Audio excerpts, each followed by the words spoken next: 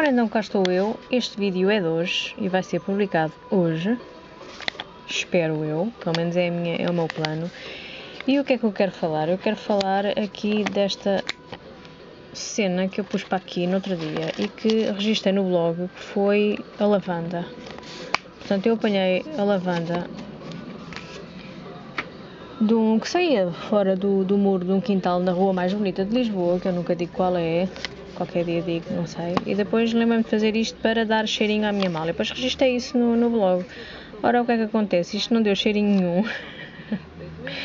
isto não deu mesmo cheirinho nenhum. E agora tem. Portanto, eu consegui secar a lavanda, coitadita.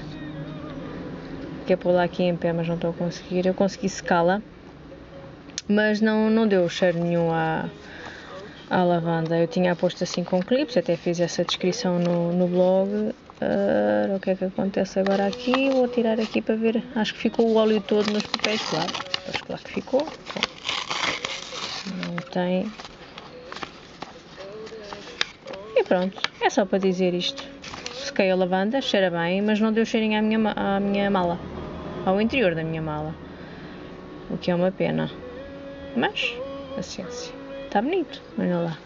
Dá para marcador de livro. Agora deixo secar aqui ao ar para ser uh, todo o óleo mesmo expulso.